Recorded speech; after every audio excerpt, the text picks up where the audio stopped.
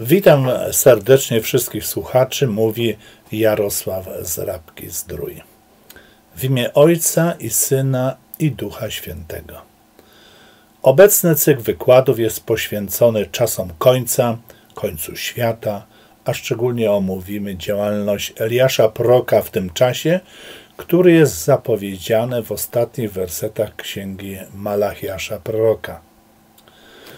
Wysłuchaj obecnie e, epizodu ósmego zatytułowanego Eliasz Prorok a Dzień Pana.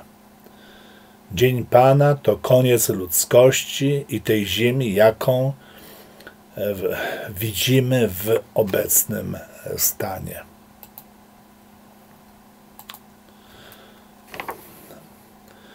Oto poślę wam proroka Eliasza, zanim przyjdzie wielki i straszny dzień Pana. Księga Malachiasza, trzeci rozdział, 23 wers. Takiego dnia nigdy nie było i nawet nie zbliżyliśmy się do wyobrażenia tego, co będzie działo się na ziemi w dzień Pana. Cała tragedia upadku człowieka rozpoczęła się od upadku Lucyfera w niebie, jego upadek i upadek aniołów, którzy stanęli po jego stronie, zakończył się już w niebie, a szatan i jego aniołowie zostali strąceni na ziemię. Szatan i jego aniołowie zostali pokonani w wielkiej wojnie w niebie i zrzuceni do otchłani na ziemię. Tutaj człowiek przyłączył się do buntu Lucyfera, dlatego teraz jest kolej na ziemię i ostatecznie rozwiązanie tego konfliktu przez Boga. Michał i jego aniołowie stoczą jeszcze raz bitwę ze smokiem i zwyciężą go. Pan Bóg i Syn Człowieczy zatriumfują w tym dniu. Zwycięstwo będzie ich. Triumf Chrystusa będzie całkowity. Jest on opisany w objawieniu w XIX rozdziale. Jako cieleśni ludzie nie rozumiemy wojny w niebie istot duchowych, lecz dzięki natchnionemu Słowu Bożemu wierzymy, że taka wojna odbyła się w niebie i Lucyfer ze swoimi aniołami został pokonany. Tak samo będzie w dniu Pana.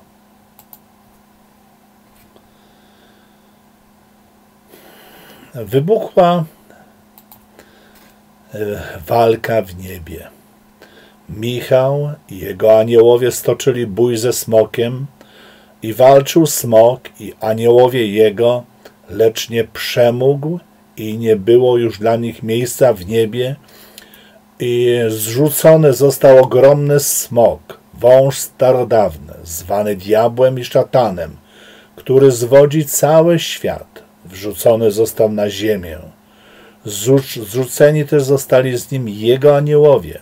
I usłyszałem donośny głos w niebie mówiący: Teraz nastało zbawienie i moc, i panowanie Boga naszego, i władztwo pomazańca Jego, gdy zrzucony został oskarżyciel braci naszych, który dniem i nocą oskarżał ich przed naszym Bogiem.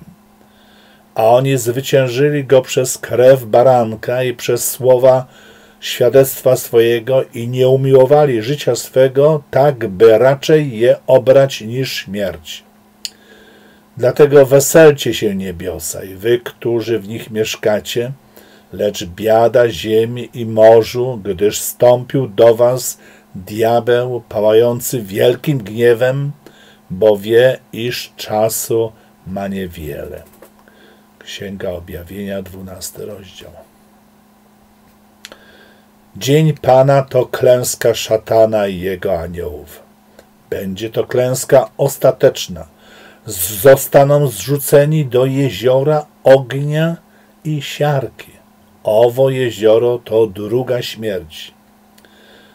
Dzień Pana będzie podobny do czasów Noego i zniszczenia ziemi i ludzi wodami potopu oraz do zniszczenia ogniem Sodomy i Gomory w czasach Lota. Obecnie zajmiemy się fizycznym aspektem Dnia Pana, a duchowy aspekt Dnia Pana będziemy omawiali w następnym wykładzie w sezonie pierwszym w epizodzie dziewiątym. I teraz przejdziemy do najważniejsze pytanie. Najważniejsze pytanie, jakie każdy z nas powinien sobie zadać co do dnia Pana, gdzie będę stał w tym dniu? Po lewicy czy po prawicy Syna Człowieczego?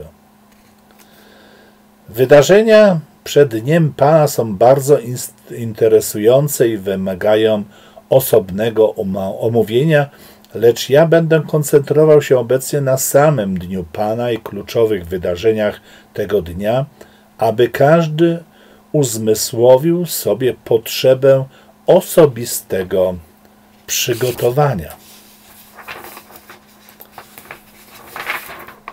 Teraz zachodzi kolejne pytanie: co się wtedy wydarzy?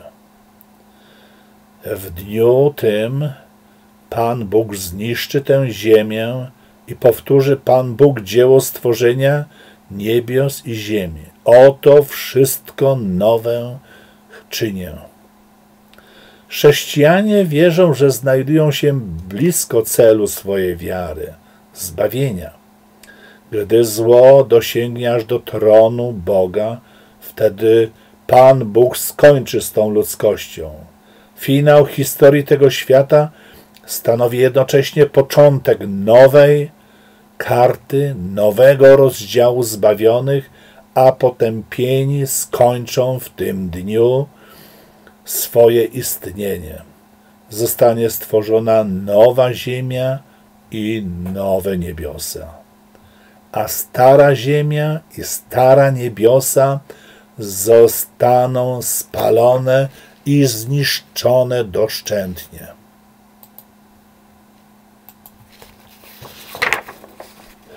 Uczestnicy Dnia Pana to przede wszystkim Syn Człowieczy i wszyscy aniołowie, którzy przyjdą z Nim. Wszyscy ludzie od Adama i Ewy, aż po dzień Pana, ci, którzy wierzyli w ten dzień, czy ci, którzy nie wierzyli w ten dzień, żywi i umarli, który, którzy zostaną z wzbudzeni. Kiedy to się stanie? Ludzie nie poznają dnia ani godziny Syna Człowieczego, gdyż ani aniołowie, ani Syn, tylko Ojciec to wszystko wie i On wyznaczy ten termin. Dlatego wszelkie ludzkie spekulacje dotyczące dnia, godziny, czy też, że, czy też czasów, że jest to tuż, tuż, są pozbawione sensu. Syn człowieczy wielokrotnie mówił o potrzebie gotowości na ten dzień, a nie o potrzebie znajomości daty tego dnia.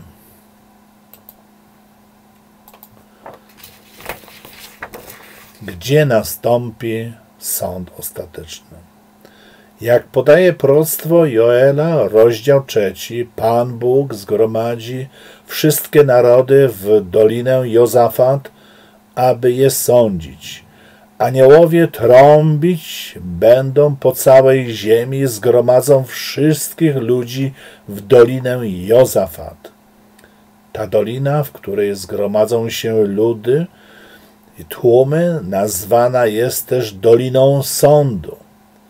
W tym dniu cała ziemia będzie miała jeden język i jednakowe słowa.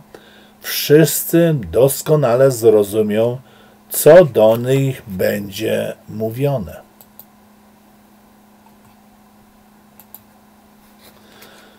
Proroctwo Joela, rozdział trzeci, podaje w ten sposób. A potem wyleję mojego ducha na wszelkie ciało. i wasi synowie i wasze córki prorokować będą, wasi starcy będą śnili, a wasi młodzieńcy będą mieli widzenia. Także na sługi i służebnicę wyleję w owych dniach mojego ducha i ukażę znaki na niebie i na ziemi, krew, ogień i słupy dymu. Słońce przemieni się w ciemność, a księżyc w krew, zanim przyjdzie ów wielki, straszny dzień Pana. Wszakże każdy, kto będzie wzywał imienia Pana, będzie wybawiony, gdyż na górze Syjon i w Jeruzalemie będzie wybawienie, jakże Pan, a wśród pozostałych przy życiu ci, którzy powoła Pan. Bo oto w owym dniu i w owym czasie, gdy odmienię los Judy i Jeruzalemu, zgromadzę wszystkie narody i sprowadzę je do doliny Jozafat i tam się z nimi rozprawię z powodu mojego ludu i dziedzictwa Izraela, ponieważ rozproszyli mnie między ludy pogańskie i podzielili mój kraj. W, o mój lud rzucali losy, dawali chłopca za lalecznicę, a dziewczynę sprzedawali za wino, aby pić. A ty, Tyrze i Sydomie, i wy wszystkie okręgi filistyńskie, czy co, czego chcecie ode mnie? Czy chcecie mi odpłacić za to, co ja uczyniłem?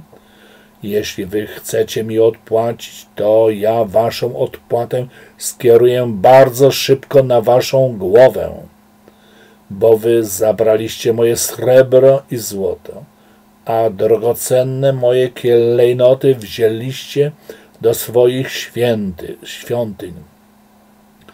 Synów ludów Judy i synów Jeruzalemu sprzedawaliście Jończykom, aby ich oddalić od ich ojczyzn.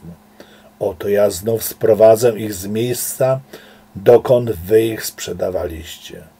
A należną wam za tą odpłatę skieruję na głowy wasze i sprzedam waszych synów i wasze córki w ręce synów Judy, a ci sprzedadzą ich Sabejczykom ludowi dalekiemu. Tak powiedział Pan. Obwołajcie tu wśród narodów, ogłoście świętą wojnę. Powołajcie pod broń bohaterów, niech przyjdą i wyruszą wszyscy wojownicy. Przekujcie swoje miesze na miecze, a swoje sierpy na oszczepy. Kto słaby, niech mówi: Jestem bohatorem. Przychodźcie śpiesznie, wy wszystkie narody, zbierzcie się. Panie, sprowadź swoich bohaterów. Niech poruszą się ludy i przyjdą do doliny Jozafat, bo tam zasiądę, aby sądzić wszystkie narody. Zapuść sierp, gdyż nadeszło żniwo. Przyjdźcie, stąpcie, bo pełna jest prasa, pełne są kadzie, gdyż złość ich jest wielka. Tłumy i tłumy zebrały się w Dolinie Sądu, bo bliski jest dzień Pana w Dolinie Sądu. Słońce i księżyc będą zaćmione, gwiazdy stracą swój blask.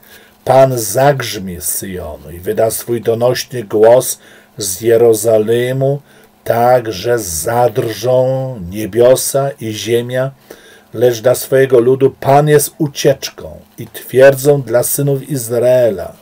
I poznacie, że ja, Pan, jestem waszym Bogiem, który mieszka na Syonie, świętej mojej górze. Wówczas Jeruzalem będzie święte, obcy już nie będą przez nie przechodzili, w owym dniu góry będą ociekać moszczem, a pogórki opływać mlekiem i wszystkie potoki ludzkie będą pełne wody, a z przybytku Pana wypływać będzie źródło i nawodni dolinę akacji.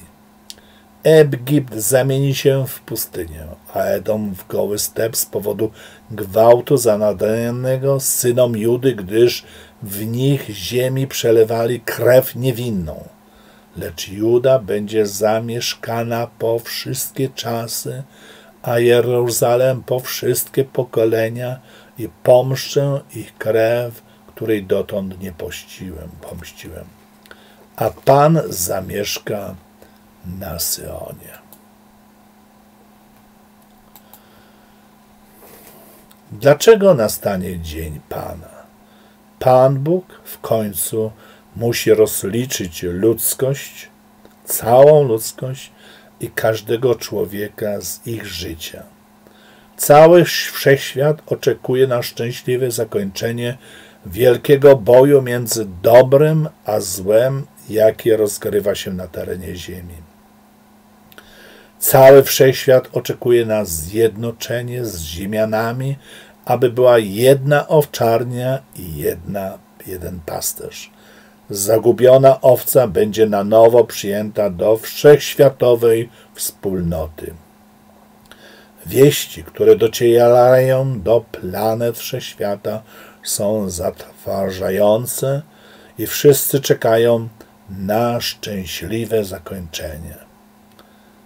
Pan Bóg ma plan, który zrealizuje go dla dobra wszystkich zbawionych.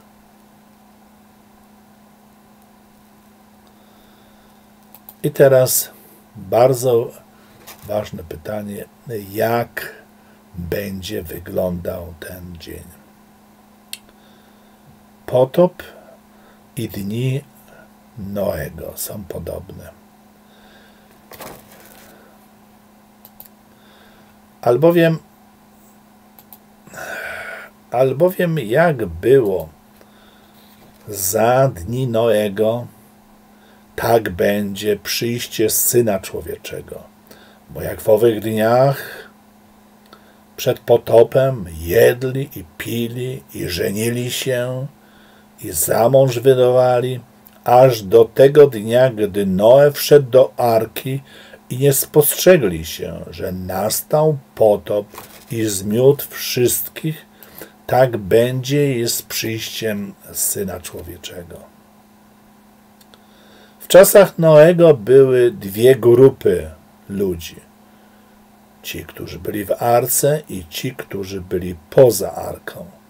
Ci w arce wiele lat przygotowywali się na potop, budując swoją arkę. Ci poza arką nie uwierzyli w potop i nie budowali swojej arki. Tak jak arka uratowała życie Noemu i jego rodzinie, tak samo pieczęć Boża uratuje życie w dniu Pana. Przesłanie Eliasza proroka na dzień Pana jest jasne. Pamiętaj na prawo Mojżesza, i ustawy i osądy ogłoszone przez Pana Boga na chorebie.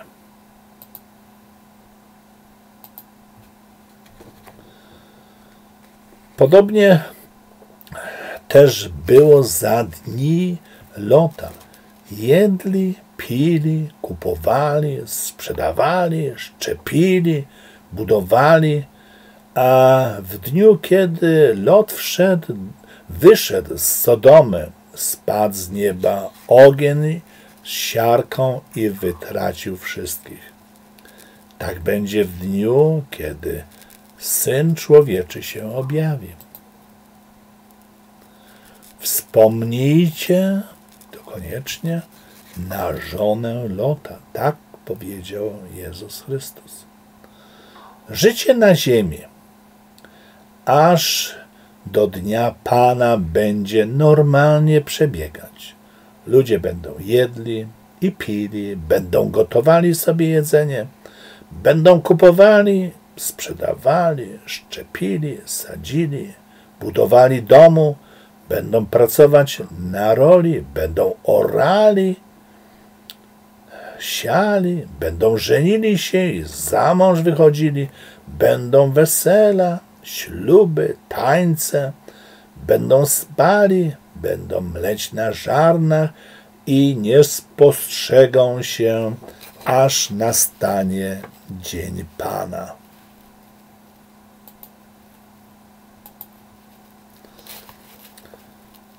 Z chciwością wykorzystywać was będą przez zmyślone opowieści, lecz wyrok potępienia na nich od dawna zapadł i zguba ich nie drzemie. Pan Bóg nie oszczędził aniołów, którzy, którzy zgrzeszyli, lecz strąciwszy do otchłani, umieścił ich w mrocznych lochach, aby byli zachowani na sąd.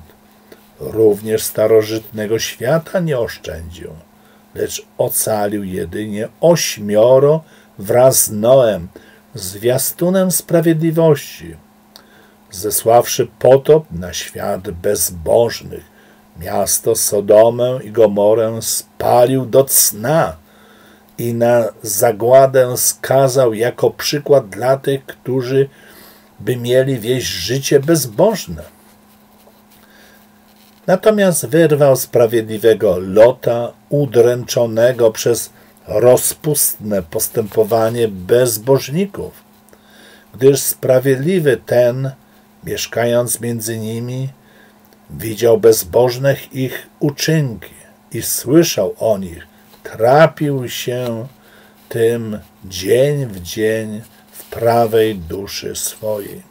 Tak powiada apostoł Piotr w drugim e, swoim liście, w drugim rozdziale.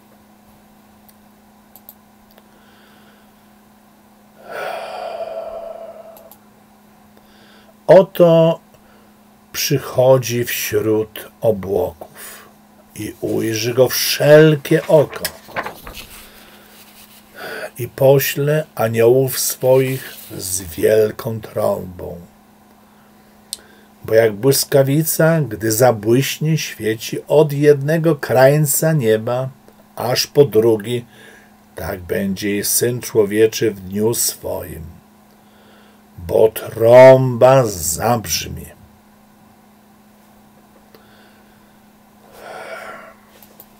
To są słowa Boże. Te tematy będę w dalszym ciągu omawiał w kolejnych wykładach w duchu i mocy Eliaszowej, aby nikogo z nas, słuchaczy, nie zabrakło wśród zbawionych. Wielkie błogosławieństwo od Boga Wszechmogącego, tym, którzy trwają w społeczności z Nim i są doskonali. Bóg powiedział wyraźnie: Jam jest Bóg Wszechmogący. Trwaj w społeczności ze mną i bądź doskonały.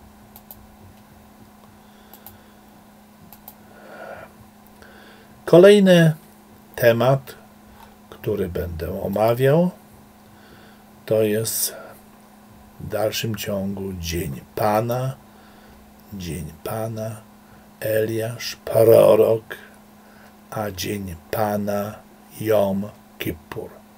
To jest właśnie duchowa wersja, duchowa wersja Dnia Pana, bo rozważając w dniu dzisiejszym, zważaliśmy fizyczne aspekty, ale co się wydarzy w duchu w tym czasie, to jest bardzo ważne. Dziękuję wszystkim i niech Was Wszechmogący Bóg błogosławi, Ojciec i Syn i Duch Święty. Amen.